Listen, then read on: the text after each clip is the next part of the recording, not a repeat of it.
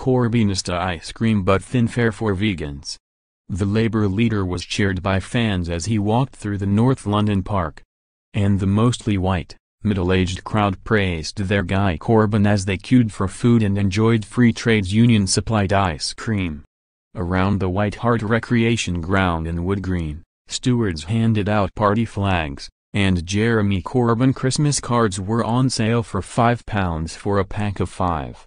Alongside the flags, were stickers reading BCKS to Brexit, and Corbyn. The festival was split mainly between a music stage and solidarity tent, where heroes of the modern left, such as Guardian columnist Owen Jones, delivered speeches. MP David Lammy was a speaker, as was comedian Eddie Izzard, who said, If you hate the Tories give me a loud cheer. The crowd of about 50 gave a ragged response.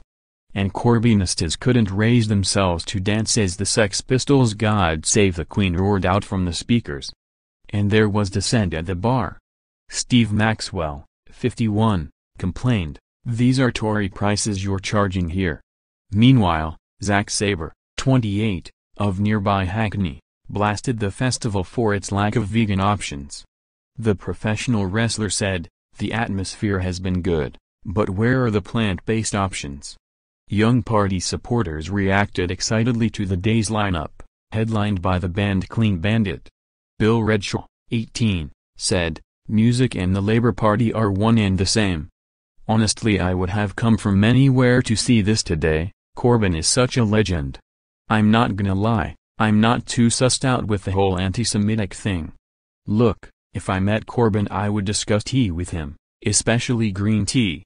Student Finley Chatterton, 18, who came by coach from Skegness, Lincolnshire, said, I identify as a socialist. I couldn't get any mates to come but I knew I had to be here. Alan Joyce said, I came here because I had to, it's my daughter. Where is the bar?